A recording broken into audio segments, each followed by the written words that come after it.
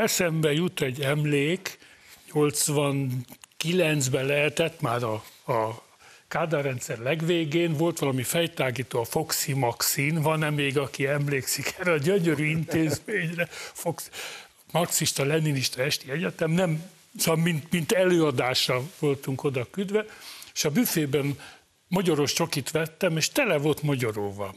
És kérdeztem egy ilyen benfentes ismerősömet, lehet az, hogy a, a pártfőiskolára több magyarul.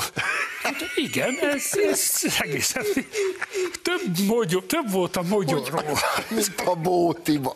Mint a bótiba. Nekem is eszembe jutott egy régi történet, még 75-ben történt, hogy ötödikesek voltunk, és Kazinci szép kiejtési versenyen vettünk részt, néhányan az iskolából.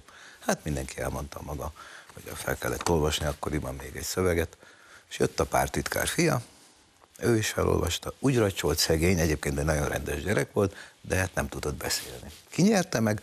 A pártitkár fia természetesen, mert nekik ez járt.